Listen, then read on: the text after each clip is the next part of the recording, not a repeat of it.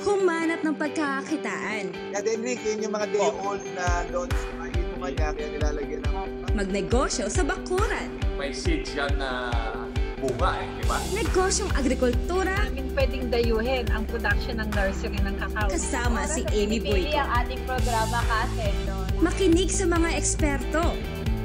Doktora Corazon Occidental, Engineer Rosendo Sol, at Doc Sosi De Leon. Agree ako dyan. Magandang araw ako po si Amy Puigo at ito ang Adtia ka dyan. Ngayong araw kasama ko po ang ating magandang veterinarya, Doktora Corazon Occidental. Hi, Doc! Hello at magandang hapon, magandang araw. Agree, agree ako sa sinabi mo. Kumusta na, Amy? Ma- Okay magandang balita, Amy, ha? Lumalakas at dumadami ang ating mga taga-subaybay. Ay, opo. Ako, Doc, blessed na blessed tayo at meron pong mga nanonood at sumusubaybay sa atin. At nakakatuwa din kasi yung advocacy naman natin is mapalaganap po na may potential pa rin po ang agrikultura sa ating bansa. Basta maging masipag, kumpleto ang mga Pilip- ang Pilipinas kumpleto sa kapaligiran ng mga natural resources. Ah, Opo. nakakatuwa nga eh kasi maraming nagko-comment at nagme-message sa akin na ah, gagawin daw nila for example ang pag-aalaga ng rabbit at ang pagtatanim ng luya. Ah, ina-appreciate nila. So, thankful din ako sa iyo, Amy, pagiging aming executive pro- producer at nag-isip mo ito. Ako po, mas thankful po ako sa inyo pagsama niyo sa akin. Ah, nako, kaaraw-araw na ating pag ah, kakausap sa iba't ibang mga salay ng agrikultura. Naku, hindi ko po alam yun sa totoo lang. ako yung Ah. medyo mas po ang aking. Hindi, ano, ang galing, ang galing mo nga mag-carry eh. Kung totoo sa you're still very young, pero na nakakapag-adjust ka sa iba-ibang personality. And yun nga, ako naman din thankful basta as long as nakaka-reach out tayo sa mga kababayan natin at nagkakaroon ng mga positive influence. Happy na ako doon. Para sa akin, Okay. successful na itong program natin. alam mo, Doc, nakakatuwa lang, no? Kasi parang malak- malaking eye-opener itong ating show para sa akin. Kasi meron tayong nakakausap taga Bukol, taga Davao. Oh, yun Nakikita pa. yung sitwasyon, iba-ibang lugar na ay, ano pa rin nangyayari doon? Meron pa Pangasinan, meron pa tayong Batangas. Ah, ganun pala yung mga tinatanim nila doon. Kasi syempre, iba-ibang lugar, hindi naman po lahat ng pananim ay applicable sa ating lugar, no? Meron po Oo. mga lugar May na may kanya-kanya. na crops. Yes po. Pero Kaya ang bottom line, ang bottom line kapag masipag, available ang mga resources at kumikitang kabuhayan ang paghahalaman, 'di ba? Opo. At ang paghahayupan. Yes, ngayong summer doc, bentang-benta po ang mga ano, mga crops natin kasi syempre maganda ang sikat ng araw, mar- maganda ang mga harvest. At saka maraming mga prutas ngayon, panahon ng mangga, panahon ng Yes. pakwan, panahon Pakwan! ng papaya, 'di ba? Pag summer, kaya ang sarap. Kaya, pero ikaw, Dokora, paano mo ba ini-spend yung summer mo noong wala pang pandemic? Oo nga eh. eh. Miss na miss ko na talaga, Amy. Pagkatagal talagang ganitong mainit, ano, every summer, eh, parang ito na rin yung vacation season namin eh, ng mga bata. Every year, gano'n. Naghahanap kami ng mga malalamig na lugar. Bakit Pero- yung Baguio? Isa na Tagaytay? yan. Yes, Yes. yes. Oo. Ganon. Nakakamiss na to. Kami naman kasi, lagi kaming ano, may araw na pupunta kami ng Dinggalan, Aurora. Kasi malapit po kami doon. So, yung Malamig Pacific ba Ocean, doon? kitang-kita mo, yes. Mm, Yung dagat nagbe-beach. mo, yes. Ayan, speaking of beach, dito sa pandemic na to, ang dami naming na-pending. May mga out of town na kami na schedule sana. Eh, di ba, Mm. pinagbawal din ang staycation. Opo. So, mag-aano muna, magsuswimming-swimming muna sa garahe, yung mga apo ko. Yun. Meron malaking swimming pool, lalagyan ng tubig. Nakita ko yung swimming pool nila, may bubble bath pa eh. Oo. Mm, nakakagawa naman ng paraan. Opo. At tayo ng mga Pilipino ay maparaan. At yung araw nga po, Doktora, makakasama po natin ang isang masipag, matyaga. Naputol yung usapan natin last time tungkol sa Gabi eh. Pero kailangan ituloy at marami po tayong dagdag kaalaman para dito sa episode na to. Hindi lang yun, hindi lang tayo natatapos, Dok, sa ano, Gabi. meron pa tayong turmeric. Kaya nga, excited na naman ako ngayong araw na to eh. Opo. Ngayong araw po nagbabalik si Kabiyaherong Abatanggenyo para samahan tayo sa episode na ito. Abangan niyo po yan. Ito po ang Agree Ako Dyan. Agree ako dyan.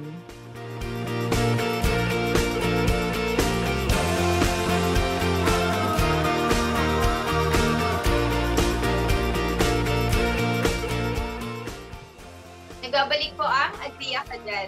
Doc Cora, last time naputol ang usapan natin sa Gabi eh. Pero Kaya- syempre, hindi natin Kaya pala nga. kasi. Nabitin, nab- nabitin man ang bahagya, itutuloy naman natin ngayon. Ready, ready, ready na ngayon si kabiyahero natin. Opo, ayan. Kasama nga po natin si Sir Mario de Guzman o si Kabiyaherong Batanggenyo. Hello po! Hello po, Ma'am Amy, ah, Doktora, at kay Sir Rique. Good morning po sa inyong lahat. Hello and magandang araw din sa inyong lahat. So excited na naman ako as usual na ituloy ang ating ah, kwentong pang-agrikultura kasama si Kabiyaherong Mario. Opo. So, Gabi po yung naiwan natin na topic. Kabiyahero, last time pag-usapan natin yung planting, tapos yung location kung saan maganda i-plant, no? Ang tanong ko po, dito sa Gabi ba natin, kasi di ba meron tong mga dahon, ginagawang laing. Kasama yun sa binibenta nyo. Curious na tanong lang. Ma'am, yung sa paliba, sa, sa um, area ko ay kati po siya. So, kasi wali, wala po siya sa, malayo po siya sa tubig. So yung pong panlaing natin, mas maganda pong itanim nyo sa mga ah, malapit po sa kumbaga, tulad ng ilog. So yan po, mas. Mas ah, lumalago po at malusog po ang kanyang mga katawan pagka malapit siya sa tubig. Pero pwede rin kainin yung mga dahon ng gabi na nakatanim sa lupa. Pwede rin gawin Ma'am, lain. Dito po sa katulad ng tinatanim namin gabi, na yun nga po, particular itong puti at saka yung pumpula, Oo. ang katawan po nito ay hindi po namin ina-advise o nire-recommend na kainin ng tao. Oh, hindi advisable. Opo, So, yun yun pala, Amy, akala ko basta gabi kahit nasa Oo gilid-gilid eh. Eh, Pwedeng gawin hero. lain. Ano yung ginagawa na laing? Ah, yun po kung tawagin dito sa amin yung bako na yun po ay nanggagaling nanggaling sa Mindoro po ang parang binhi niya. So parang na-adapt lang po namin yung mga halaman na gano'n. Na tinatanim po namin dito para sa mga bako bakuran lamang na na, na po pwede siyang mga ah, maku- malagyan ng tubig dahil yun po ay dapat isa sa mga matutubig na lugar. Yun po mga panlaing. Oh, akala ko po basta gabi, pwede nang kunin, tapos ilain. Hindi Oh, so, ba ang follow-up, ang follow-up question ko naman tungkol din sa bako, yan bang mga ugat niya ay nagkakaroon din ng laman na magiging gabi naman? Yes po, nagkakaroon din po siya ng laman. Na masarap din amin. kaya? Opo, Aha. sinasama po yan sa laing na yun po ay pagka uh, paan nga pangkaraniwan pong luto dyan sa laing dahil may gata, Mm-mm. Yes. sinasama po natin yung pinakalaman niya. Tsaka po yung ugat niya na luluto rin po yun na kung tawagin dito ay sulanoy. Mm. Opo. Ayun po, ma- mainam po na isama po ang laman dahil yun po ang magpapalapot ng ating laing. I see. Ah, may tanong ako pero um, medyo out out of the topic. Yun bang yun bang gabi paano naaalis yung kape? Kasi maha, 'di ba mahawakan mo lang Yun yung sunod kong tanong, Dok. Pa, like for example, paano kung umaani sila at mga ti ang mga taga-ani ni kabiyahero? Anong paano ba nape-prevent yun? Ah, doktora ay sa ano, hindi po ako nagluluto sa totoo lang ng laing dahil ako nga po ay kung magluto ay makate. So, Oo. may, May base po doon technique. sa mga mga naunang tao dito na sanay pong magluto, parang may technique po sila na ginagawa. At Oh, yun yeah. po ay parang na nakakapanood po tayo ng pagluluto niya at naririnig po natin ang kanilang mga sinasabi sa pagluluto ng laing.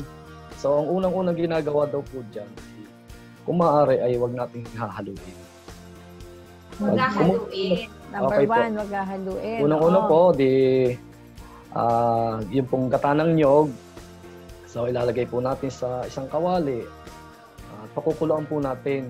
Pag kumukulo na daw po yung, kaya po daw hindi po talaga ako maalam magluto niya. Ah, pag kumukulo na po yung gata, Lalagyan po natin ng mga pampalasa tulad ng sibuyas, paminta, bawang, asin. So, kumpleto na po yung ricado. At pag kumukulo na nga po yung gata, saka po nila inilalagay yung dahon, saka po yung katawan ng gabing laing. At yun po ay tatakpan na nila hanggang sa maluto na. So, yun daw po ang Bawal technique. galawin. Kung tutuusin, simple pero may technique. Oo, oo, So, na, for- ano po, napakasimple po. may posibilidad na sa kabila ng kumpleto yung mga recados natin, Amy, may posibilidad na hindi makain kasi naging makate. Oo. Pag tayo Mak- makati nagluto po sa- ng gabi. Yes po. Ah, okay. Yan, ako kapag naghihiwa ako Specialty ng yan eh. gabi, nakabalot ng plastic yung kamay ko din. Kasi Ay, makati na. oo, pati yung paghihiwa, pag ano yata, yung mga laman, di ba, kama, kabiyahero, yung mga laman ng gabi, kapag hinihiwa na, halimbawa, magluluto ng bilo-bilo, eh, may posibilidad ding Opo. mangati yung tao, ano. So ito naman pong ah, yun to pong aming pangkaraniwang itinatanim na ito nga pong kung tawagin namin ay San Fernando. So Oo. hindi naman po ito makati pag pagka po binabalatan natin. Ah, depende din sa variety. Variety, oo. At saka ito po ay ano, ah, siguro po ah, maraming hindi nakakaalam. Ito pong ating gabi, ay ito po ay may dagta. Mm-mm. Sa unang harvest po natin, pagka-harvest, ah, makikita nyo po pagka po yung putulin po yung isang bahagi ng ating gabi, makikita nyo po yung dakta. Lumalabas po yung dakta. So, ang mas mainam po dito sa ating gabi na hindi nga po hindi alam na nakakarami, ay maganda pong gamitin natin ito pagka po, kung tawagin po sa amin ay imbak. Ini-imbak Mhm. po na, muna po natin sa isang ah, lugar na I, ano, hindi yun. siya maiinitan. i-stack, pagpapalit, patutuyuin ang ang dagta, kumbaga. Yes, doktora. Yun po. Yun po ang Mm. napakasarap na lutuin. At yun nga po, sa salitang Batangas ay maligat at malagkit kainin. Ayun. I-try nyo po. I-try nyo po yung aking tip. Ah, Sige. Yun ay ko po sa inyo. Yan ay pagkaani pala. So, hindi ka pala advisable bumili sa palengke ng bagong pitas. Or kung gusto mo ng bagong pitas, hindi ka pa magluluto. I-store mo muna po. Okay rin naman po. Okay rin naman po. Yun lang po. May may pagkakaiba nga po pagka po imbak na. Mas Oo. masarap siyang kainin. Eh, mab- mabalik naman ako sa, ano, sa pagtatanim. Parang naalala ko eh, nabanggit mo na, na okay siyang itanim sa mga basta open spaces, sa mga gilid-gilid. Yes. Sa mga gilid-gilid. At saka ang binhi din niya, yung laman, maliliit na laman ba, pwedeng maging binhi at tutubo ba siya na magiging malalaki. Opo, yung pong ah, dalawang klase po ang ano, ang binhi nito. Na yun nga po sabi ko, pagka, puro, pagka po kayo nakapag-umpisa na magtanim ng ganitong gabi root crops, sa susunod na season po, hindi niyo po po paglimahin ang mga binhi. Kasi po, ito pong katawan ng ating gabi root crops, ay yung po ang pangkaraniwang itinatanim po namin dito sa amin lugar. Ano katawan na may ugat, yun na lang ang pananim. Hindi not Opo, necessarily yung, ang laman. Ang pagka po laman, matagal po ang, ang paghihintay natin dahil yun po ay ano mag hintayin pa nating magkasuloy, yung magkasibot Ayun. bago po So- natin itanim. So yung pong ating katawan ng ating gabi, pagka po yun inilagay na natin sa lupa at naihukay natin, ah, mga one week po ay makikita nyo na po yung kanyang dahon. At tutubo na po siya. Napakadali. Napakadali. So, yun po ang pagkakaiba. Ng laman na binhi kaysa sa katawan niya. Oo. So, kaya siya, ano, malaki ang advantage ng pagtatanim ng gabi dahil pagkatapos mong umani, kinuha mo yung laman, yung kanyang katawan, ugat-ugat, itatanim mo na, na naman, res, eh, kumbaga, i-recycle. Walang puhunan yan, Amy. Walang puhunan. Talagang magsisipag lamang. Ano, kabiyero. Opo. At tanong ko, magkano naman ang isang kilo ng gabi pagka dinadala mo sa palengke? So ngayon po ay panahon nga po ng ah, ng pag-aani dito sa aming lugar at yun po ay talagang inaani pag summer. Yun pong aming puti na gabi.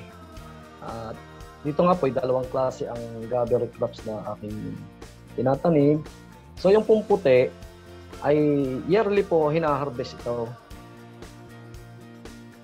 Kasi po, ito po ay pagka umabot ng isang taon, ito po ay sumusuloy na. Suloy, hindi na masarap. Kakasulit po. Nasibol po, nasibol.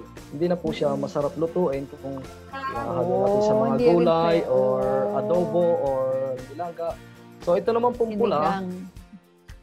ito po ay kahit po dalawang taon, tatlong taon sa kanyang harvestin ay po pwede po. Ito po ay hanggang sa lumaki po siya ng lumaki.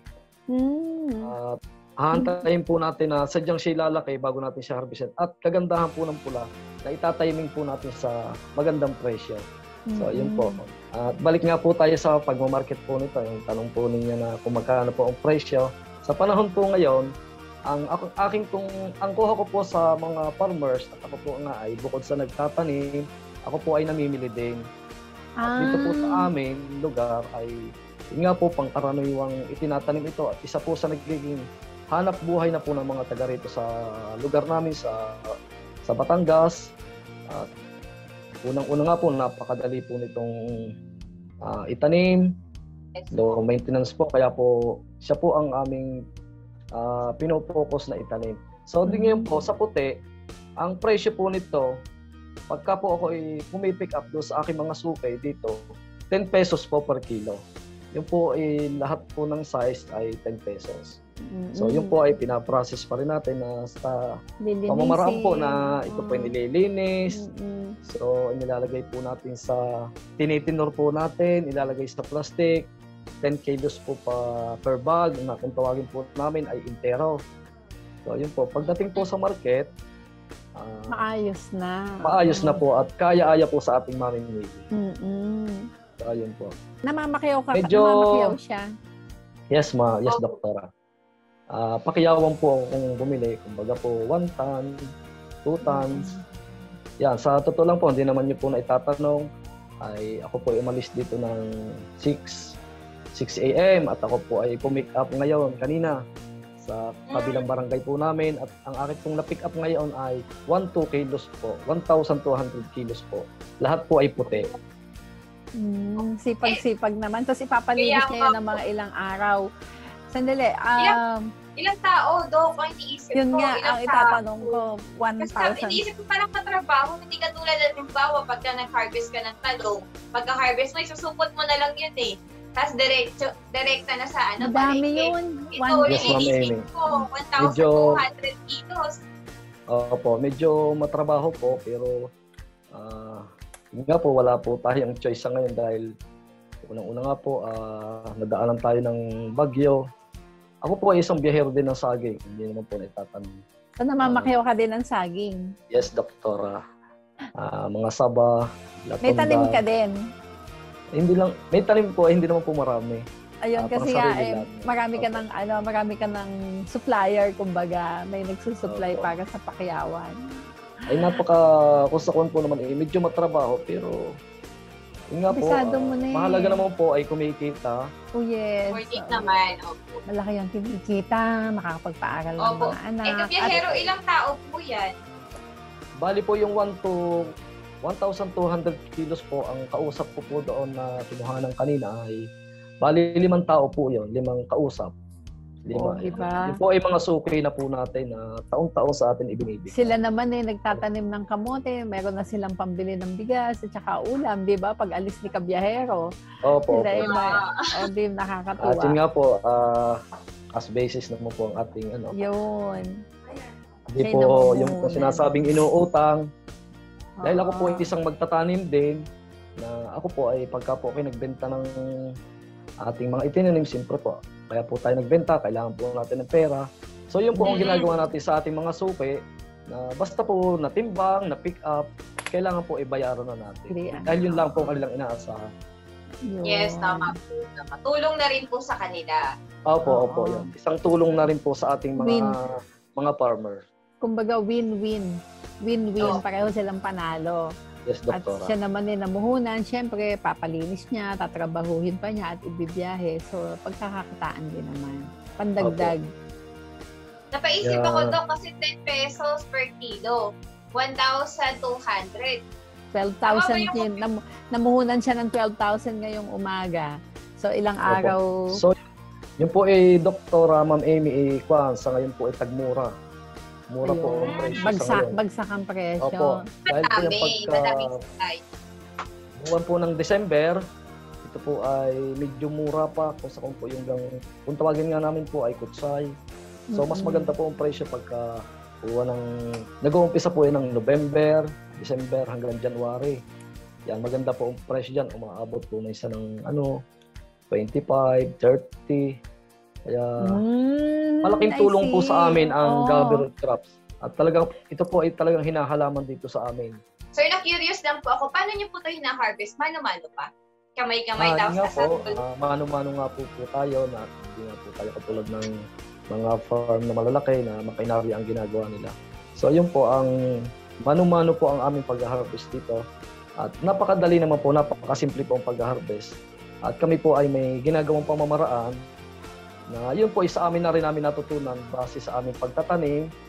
Dahil po na, mis, nung minsan po kami nagtanim, yung unang pamamaraan ng aming ah pagtatanim nga ng gabi root crops, eh, medyo nahirapan po kami sa pag-harvest.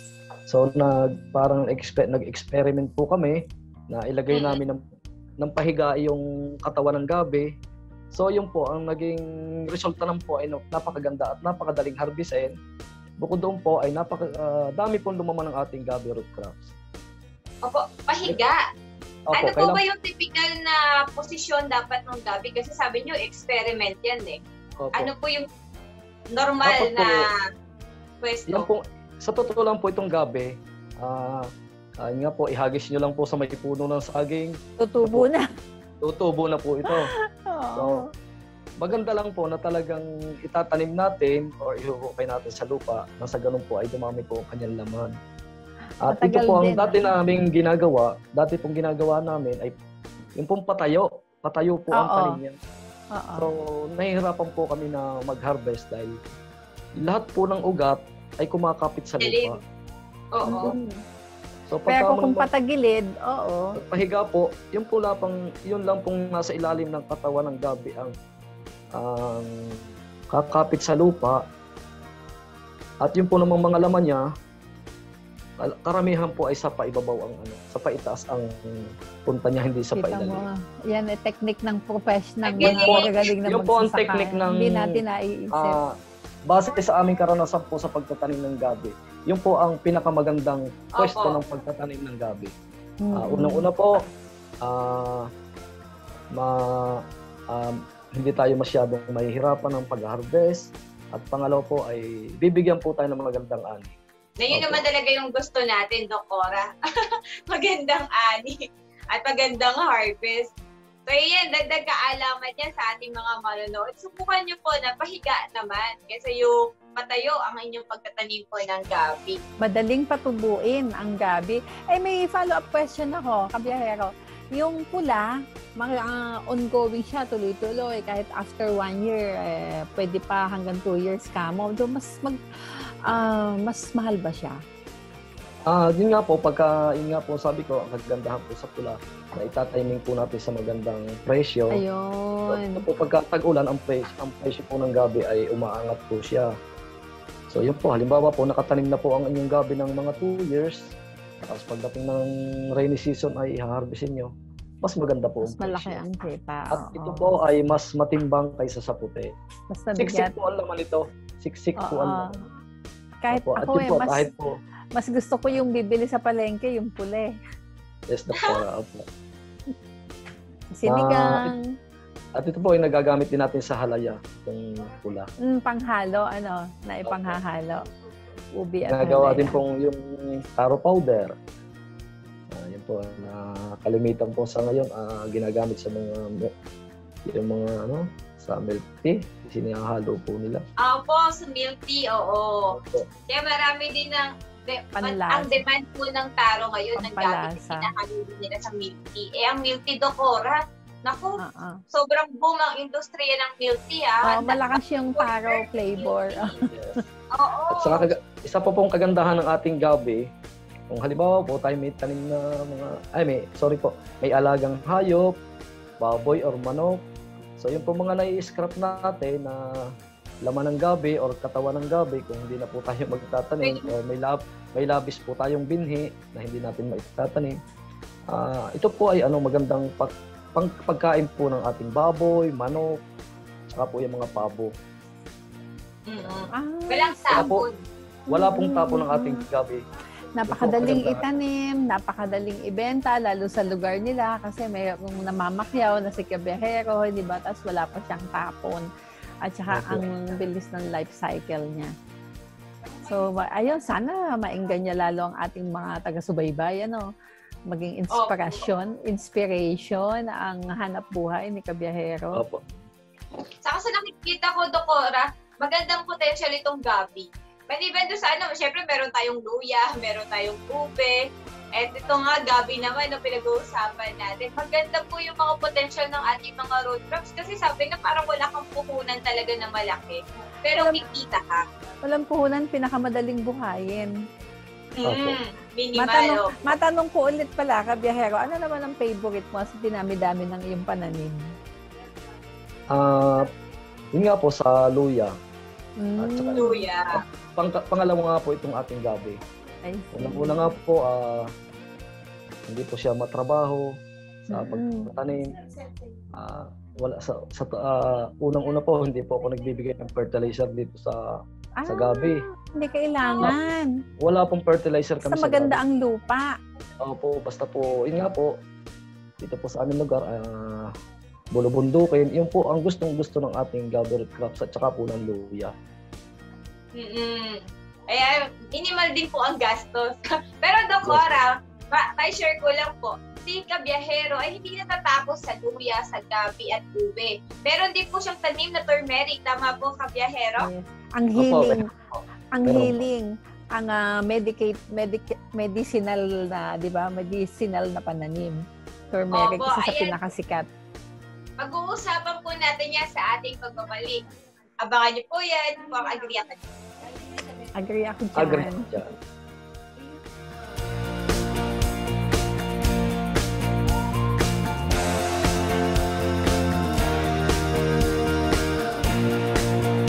Ibabalik po ang agree ako dyan. Dokora and Kabiyahero, pag-usapan po natin ang turmeric. Sir Kabiyahero, ano po ba ang mga health benefits na meron po sa turmeric? Ang turmeric po ay ano, yun nga po malaking katulungan sa ating kalusugan. At base sa, yun sa, sa una muna po ay yung karanasan namin na kahit po sa tao or sa hayop, ito po ay nakakatulong. Unang-una nga po ay sa, sa ating ubo, na mabisang pangalis po ito at pangtanggal ng ubo. At nasubukan na po namin ito, yun nga sa, sa aking sarili, uh, sa aking mga pamilya. At pangalawa nga po doon sa ating mga inaalagaan na pangkaraniwan, yung nga baboy, na pagka po siya inuubo, so binibigyan lang po namin ng turmeric. At parang wala na po, wala na pong gagawin. Basta kahit po buo siya, ilagay niyo lang po doon sa coral niya, ay kakainin na po yun ng baboy at yun po ay mawawala na po ang kanyang. At bukod po doon ay napakarami pa po ang katulungan nito sa ating kalusugan.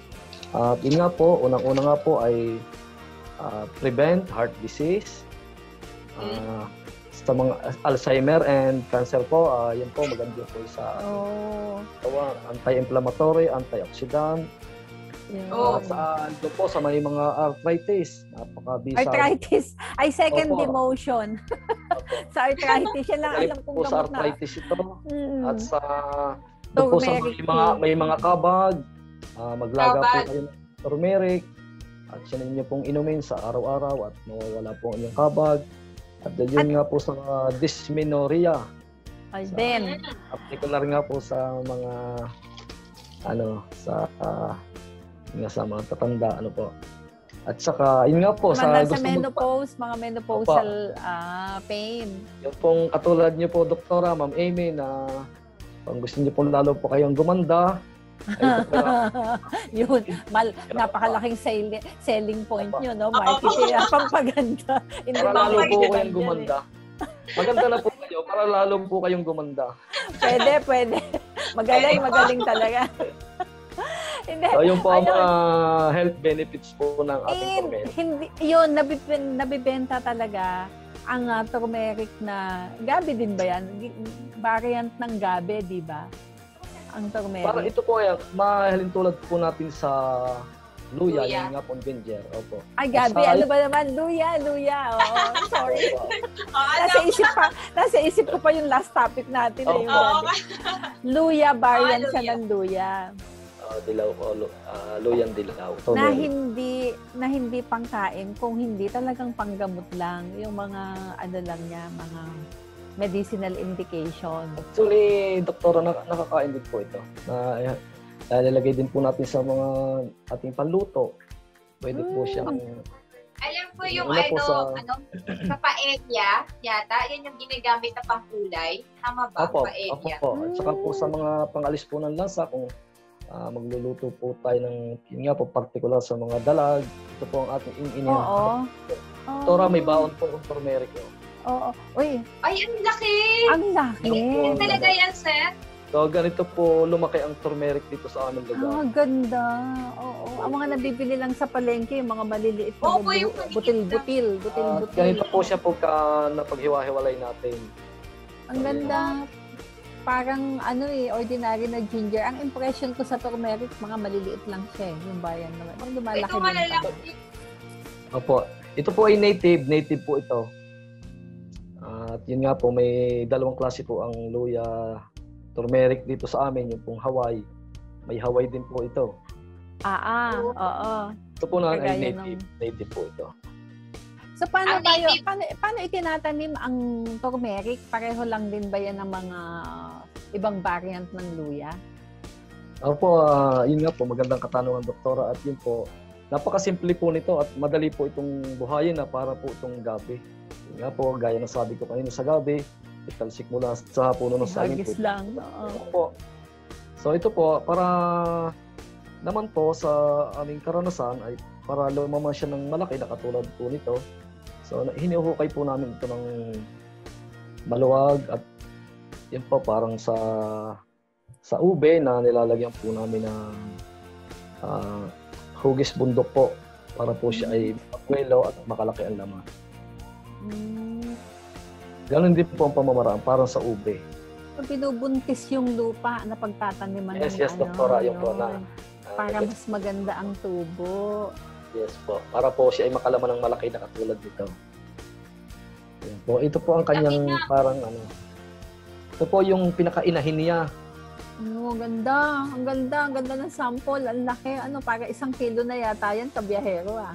Mga ilang kilo po yan. Tinimbang ko po ito, doktora, ay 2 kilos kanina. Wow! Siksik! Opo, ma.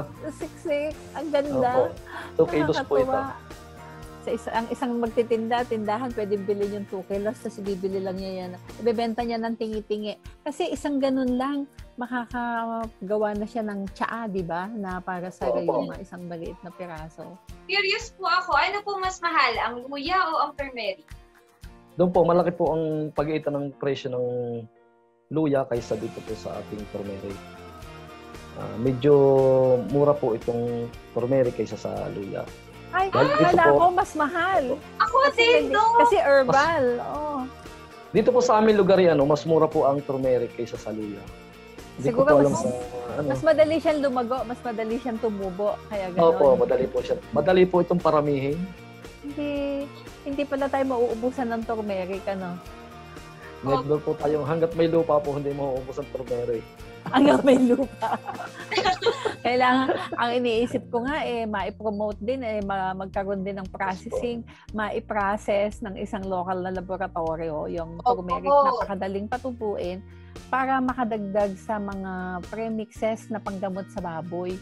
Kasi isa sa mga problema ng pagpapalaki ng baboy ay ang ubo. Kaya po ito ay magtanim kayo sa mga bakuran ninyo. Kung kahit naman po sa mga, ah, yun nga po, basag na timba or sa mga baku-bakuran nyo. Tubo, magtanim. oo. Napakadali po nitong buhayin. Madaling patubuin. ano naman, I have nothing against Plantito and Plantita kasi isang pinagkakalibangan ngayong pandemic, di ba, Amy? At nakakatuwa Oo. gumaganda ang bakuran. Pero maganda rin sana kung side by side ay malagyan din ng mga root crops na kagaya ng ng turmeric, ng gabi, di ba? O Luya. Mm, mabebenta pa. Opo. Saka dok, mga herbal, ano, yung mga oregano, para kahit pa paano sa loob ng bahay mo, meron ka na remedy. Kaya nga eh, maganda nga itong natututunan natin kay Kabiyahero. Eh. Marami siyang naituturo sa atin at sa ating mga manonood. Sige, Kabiyahero, kwentuhan mo pa kami. Ayun nga po sa so, ah, ito nga po, ang turmeric, ito po ang kulay niya, kulay or, orange. Yung Bakit po orange, dark natawag orange. natin? Bakit po ito po sa, sa dito ay ah, kung tawagin namin nga po ay luyang dilaw. Pero Yun lang. orange siya. Oo. Bakit po siya bakit po siya natawag na dilaw? So ito po ang ipapakikita ko po sa inyo kung bakit po siya ay orange, bakit po siya ang tawag ay luyang dilaw. So ipahid niyo po sa inyong ano sa inyong palad, siya po ay Ah, lagay. Kulay dilaw siya. Naging. Orange, oo, dilaw. Sa sobrang tapang, matapang ang pagkadilaw Kaya naging orange. Ito po ay ano, pagka po kayo ay nag, nagtanggal ng mga laman nito, so na na na, na Maninilaw. Maninilaw. Kamay. Oo. Oo. Makikita niyo po, dilaw na po siya. Mhm. Maninilaw Oo. ang kada kumapit. Apo. So yun nga po sa pagtatanim, na napakasimple po nito. Ah, hindi na rin po kailangan nito ang fertilizer kung Oo. titipid po tayo pero kung halimbawa gusto po natin na mas lumaki pa ang laman nito, mas mainam po na may ah, pataba. Laman lang yan. Kabiyaherong Maro, laman lang yan. Ibabaon, tapos tutubo na siya. Yes, Sisibo doktora, na. opo. Ito pong, kumbaga, ito pong isang pirasong ito, isa po na Mhm. itong ah, binhi. Mm-mm. So may mas maganda pa po na mas mabilis tumubo yung pong kanya kung tawagin namin ay yung sakwa. Ito po doktora, pakikita ko po sa inyo. Ito po yung sakwa ng ating turmeric. Sakwa? So, Sakwa po opo. ba tama? Ah, tawag po dito sa amin sa Batangas ay sakwa. Marami po siyang mata. Yan po, Mhm. ma'am. Yan po ay dito po tutubo ang ating yung katawan ng ating turmeric. Napakabilis po. Mhm. Mas malaki po ang nagiging laman pagka po ganito ang ating itatanim. Pero okay din naman po doon sa laman. Oo. Kapag meron tayong ganyang sakwa at itinanim natin mga ilang buwan bago man natin maumasa ng magandang maraming laman. Ah, ito po ay 5 months or 6 months na harvest na rin to at malalaki na rin po ang nagiging laman niya. Yun nga po kung tawagin namin, mga Five, luya, six mga months, gabi, meron na. mga ube. Pagka po mga buwan ng 5 months nyo hinarvest, tawag po namin ay kutsay. Mapuput, ah, yung pong kanyang dulo ay maputi pa. Hindi po katulad nito na orange na rin. Mm-mm. Pero po ito ay dapat isagat natin ng 1 year para mas maganda. Sir, katulad din ba ng turmeric yung amoy ng luya? O iba? Kasi alam May pagkaka- natin yung sa luya, maamoy talaga. Opo, may pagkakaiba po Ma'am Amy. Ah, Oo. Pero iisa po lang ang masasabi ko pares kung maganda sa pang-amoy natin ang ano ang ang amoy ng ano luya at saka ng turmeric. Ano po mas mabango kung may pagkakaiba? Asa doon po sa luya talaga, sa luya. Ah. Luya ang mabango. Pero Ano hindi mas po malakas katulad- ibenta? So ito pong pagbebenta naman ng turmeric ay ito po ay iniantay lang namin pagka po may order yung factory namin na dinadalahan na nagpa-process po nito. Hindi regular. Hindi Opo, regular. yun po, yun po namang luya ay regular po ang bentahan. Regular. Opo. May, may sariling marketing. Opo, yun po ang pagkakaiba ng pagdating sa bentahan ng luya at saka po ng turmeric. Dahil Kaya pag sa palengke po, ah, pag may dala po kayo 10 kilo, marami na po makakabili na on. Oo. Kung maliit na piraso lang po, marami na po kayong paggagamitan. No? At pagka po mas- pang kulay lamang sa pagkain, yung ganito pong kalaki eh, ano. Pwede na. Kasi yung opo, kulay Matipid. eh. Siya Napakatipid. gamitin. Napakatipid gamitin. Po. Pero may or, may ah, may oras, may panahon na mas mahal ang luyang dilaw kaysa sa luyang ordinary. Ah. Oo, dito sa amin sa palengke sa Novaliches. Nung kasagsagan ng pagkauso. Dati sikat na sikat yan eh, di ba? Naging ah, household, ano yan eh. Nagkakakulangan household nga po medicine, sa aming oo. kakaupusan dati dito. Kaya po kami eh, naingganyo na magtanim ng marami ito. Sa totoo lang po, hindi naman po nila itatanong doktora. Ang tanimin ko po dito nito ay sa estimate ko lang po naman ay nasa mga 4,000 kilos pagka po mga harvest. Oh, dami. Oo. At yun Kaya po mo ay ano, kaya mong magbenta ng ano sa loob ng isang buwan ng ganong kadami? Yun nga po, doktora, inaantay lang po natin ng go signal ng ating kausap at yun po i-harvestin na natin. At yun ay Opo. isang isang bagsakan sa kanila. Yes po, yes po, doktora. Opo. Kung 4,000 mga eh magkano ang ta- ang magkano ang bagsak mo sa kanila? Sa natakbo mong presyo ngayon ay ano, 20 pesos po per kilo. Kita mo yon Amy. ah. Eh yung So, 4,000 sa 4,000 loob ba ng isang buwan yan? Isang buwan makaka-supply ka sa kanya. Yun, yun nga po ang ano, pamamaraan na kahit pumura ang ating pinagbibiling halaman o kalakal, Pero sa volume, sa dami, sa volume sa dami. Okay, Bawi. can you imagine? Eh side, parang kung iisipin ang ang major crop ni Caballero ay yung luyang or yung luya talaga. Tapos parang parang sideline lang itong luyang dilaw eh. 'Di ba no, Mario? hindi hindi main eh. Ang main niya luyang dilaw sa kagabi pero itong sideline Yes niya eh po. kaya bumenta ng 80,000 sa isang bagsakan sa kanyang ano ah, suki. Bali may kausap po kami na ano na naka siya po ang naka-PO doon sa factory. So isa po ako sa Mm. supplier ng turmeric na dinideliver niya sa factory. Opo. Mm-mm. Ako po, no, curious ako kasi ang luya, ang ube, gabi, at itong turmeric, pare-pareho ba tong summer? Sabay-sabay po ba to na, ano, na hinang-harvest? Kasi nisip ko lang, ah yung iba kasi, may panahon na tag-ulan hina-harvest, pana, may interval. So kung naka, ano ka, intercrop ka din, so meron kang kikitain sa tag-ulan, meron kang kikitain sa summer, di ba, Doc?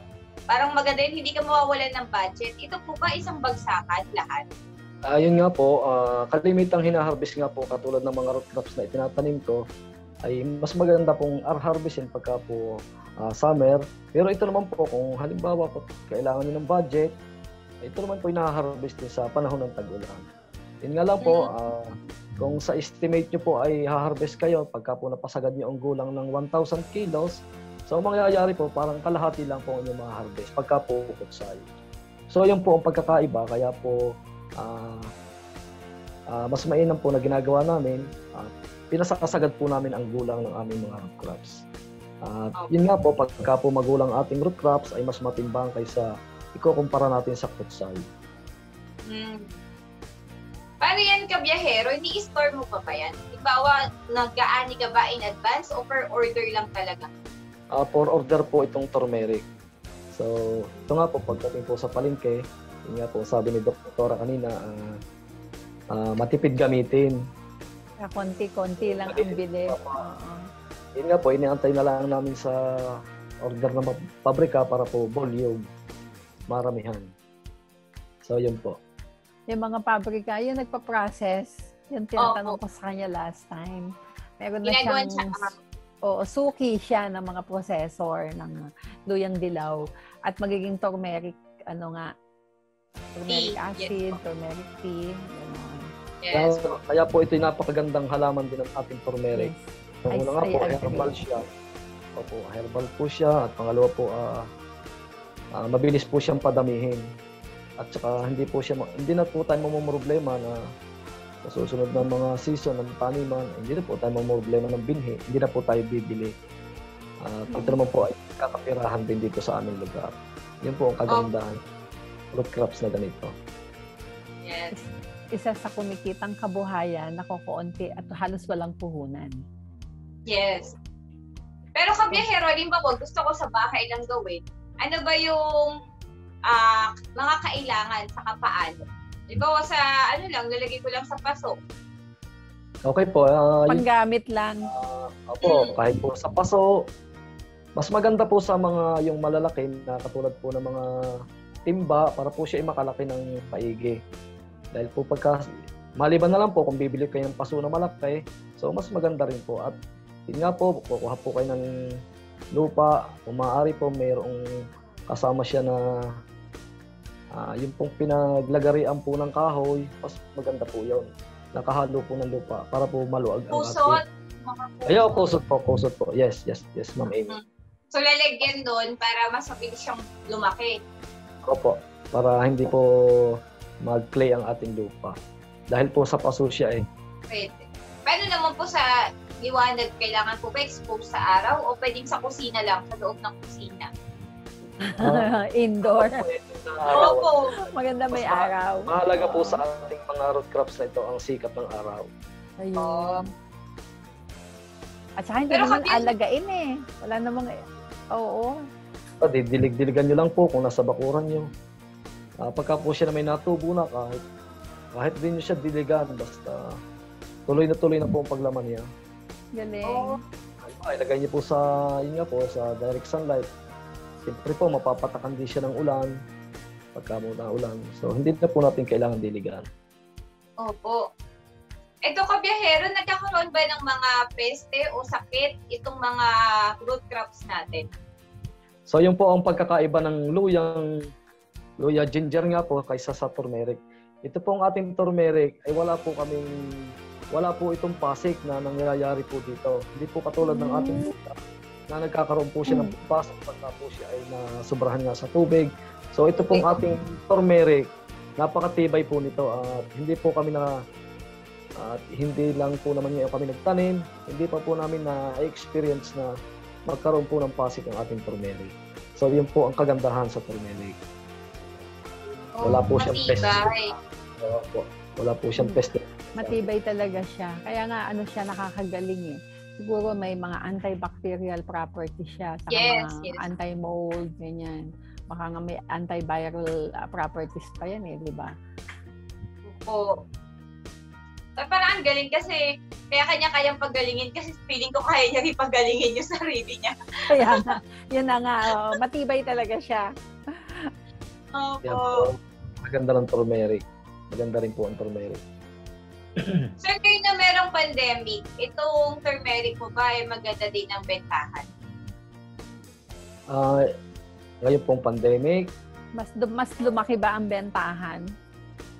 ah, medyo medyo lumiit po ang bentahan ng turmeric sa ngayon dahil nga po isa na tulad po nakaraan naranasan po namin i-deliver na po namin yung 2,500 kilos so nagkaroon po ng positive po doon sa factory may nag-positive so nagsara po so yun nga po sa kabutihan pala din naman po sa tulong ni, ni God ay na-deliver na rin na, i-deliver na din naman po natin yung 2,500 doon po sa iba nating kausap. Hmm, Medyo lumiit po dahil doon. dahil po sa ating Oo. harap na pandemya na ito. Hindi dahil sa naapektuhan ng market, hindi nag, nagkaroon ng ano, napatigil yung Ng isang cake. factory dahil sa COVID. Oh. Marami po Sayang. yung nagpa-process nito na nagsara. Kaya po lumiit. ang- Pero sana, sana bumalik agad sila, gumaling ang Yes. kanilang mga tauhan para bumalik agad at magkasabay-sabay din ang pamamakyaw sa inyo. Kasi inisip ko, di ba, Dokora, ang ano, luya, turmeric, yan ay mga sa, sa ubo nga eh, di ba? Eh, ang Oo. COVID kasi nagsisimula sa ubo yan. Mm-mm, mm-mm. At saka Tapos, ngayon, des- desperate na. times. Lahat ng marinig Yes, ng mga tao po. na nakakagaling eh, di ba? Dahil punong-puno ang mga Eh, inisip ospital. ko, tataas yung demand ng turmeric. Pero Oh, dahil wala, wala namang kinalaman. Yun, wala namang kinalaman sa mismo market. Market, yung nag, nagka-problema yung mga factories. Yes. opo. Pabalik din agad dyan, kabiyahero, I'm sure. 14 At days lang naman lalo. yung quarantine. Lalong lalakas. Kaya po pagdating naman sa market eh ano may, may nagdadala din po kami nito ay hindi na po ma, napakadami. Hindi po ko kumpara sa factory na talagang ah, Bagsak na. tunilada po, tunilada po ang Oo. aming dyan. Ah, halos nga po yung jeep ko ay pinupuno namin pagka po may order. So yun po, ah pagka pagkakataon po na ganun, may order, so sinasamantala po namin ang pag-harvest. Sana po ay matapos ng pandemya at para po Oo manumbalik ang buhayan ng mga tao. Pero may pandemya o wala, basta tayo mga Pilipino, kagaya ni Kabiyahero, laging nagtatayan, laging magtatanim dahil malaki ang potential. Basta magsipag lang. Oh, Ah, para po may ah, inaasahan tayo sa darating na panahon pagka po tayo may mm mas na tayo po ay laging magtanim at yun nga po malaking tulong sa pangkabuhayan natin. Opo. Kumikita talaga, kumikita ang kabuhayan. Walang dahilan para hindi kumita basta marunong magtanim at magsipag lang. At kitang-kita naman po yan kay Kabiyahero. yung Bumabata yan. sipag, no? yung tiyaga. Opo, yun nga po lagi yung na faith. Ay, kita ko sa inyo, sir, napaka, ano nyo, ay, yung faith ko ay napakatibay. Kaya, Amen na-amaze po that. sa inyo at na-inspire din po ako sa inyo. Thank you po. Thank you po. Oh, masipag siya at saka yung faith niya matibay. masipag. Mapag mapasalamat sa sa Diyos sa, sa mga biyaya. Hindi ba tama 'yon? po, Doktora. At yun nga po, lagi nating sinasabi na lahat naman po ng ating ginag- ginagawa ay patungkol sa ating Panginoon Diyos na siya naman po lahat ng may alam ng ginagawa natin. Kaya Amen. Amen. Ayun. kaya po, sa, kaya po sa pagtatanim natin, unang-una ay siyempre po may kahit pa paano may capital din diyan. At pangalawa po, ah, sasamahan nga po natin ng sipag at mayroon tayong makisama, makipa komunikasyon sa ating mga kausap o sa ating magtatrabaho. Kailangan po tayo ay nga po, friendly tayo sa ating mga ah, suki, sa ating magtatanim. So, hindi naman po natin kayang mag-isa na magtanim ng marami kung mag-isa lang po tayo. So, kailangan po gumamit din po tayo ng mga tao na mas, mas may kaalaman para mapaganda po ang ating mga pananim. So, ayun Oh, po. Corporate Thank you po. values ay hindi lang sa mga company at korporasyon. Yung mga values na pakikisama, determination, at integrity, eh, di ba, maging sa pagkakita. importante yan, Doc. Importante. Importante. Opo. Ayan, Kabiyahero, maraming maraming salamat po sa pagpapaundak. Na, naputol tayo last time, pero syempre hindi tayo papadaig doon. Kuryente lang yun. Nagbabalik tayo. Kaya, Ako naman, you. ah, dalangin ko din ang patuloy na pagtatagumpay at kalusugan ni Kabiyahero Mario at ang kanyang mga kasama at buong pamilya. God bless you even more. Salamat po, Doktora, Ma'am Amy, sa at yun nga po, ah, sa ating kwentuhan na ilang beses tayo nagkwentuhan na ako po ay talagang natutuwa Kami Na- din. Makapanayan po kayo po. At yun nga po, isang malaking karangalan po sa katulad ko. At bilang pag ah, pagpapalitan po natin ng mga puro-puro, ay ako po ay may natutunan din po sa inyo. Maraming salamat. Salamat po. Thank you, thank you po at salute po ako sa inyo. Kami din. Ako, kami din sa'yo, sir. Inspirasyon ng mga Pilipinong Sana po magsasaka. ay pa itong huli ng ating pagkukwentuhan. Sana Sana din. po magkakita-kita tayo in person. Look. Ayun, yun nga. At saka, kakontakin ko nga siya, eh, di ba? Kapag ka naasikaso ko na yung kung naghahanap ako ng magiging kasama Po, magtanim ng Kung lahat ng ah, tawag lang po kayo sa akin at sa abot na aking makakaya ay tutulong po tayo. Salamat. Thank you in advance. Ayan, mag-subscribe po kayo sa Biyaherong Batanggenyo para po masundan niyo pa po ang iba-ibang mga root crops ni Sir Mario de Guzman sa ating mga kababayan. Sir, maraming maraming salamat po ulit. Doc Cora, maraming salamat din po sa pagsama hanggang sa muli. Ito po ang Agree Ako Dyan. Agree, Agree ako ako. dyan.